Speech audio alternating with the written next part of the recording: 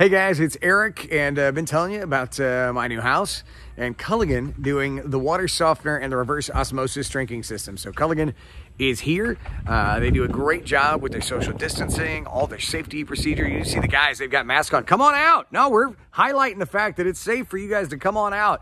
Uh, they're super kind too. So uh, Pat's here working, uh, but they've they've got masks on, they've got gloves on, they've been temp checked today. So highly recommend you call Culligan, let them come out, check out your house, uh, put that water softener reverse osmosis drinking system in, just like I am.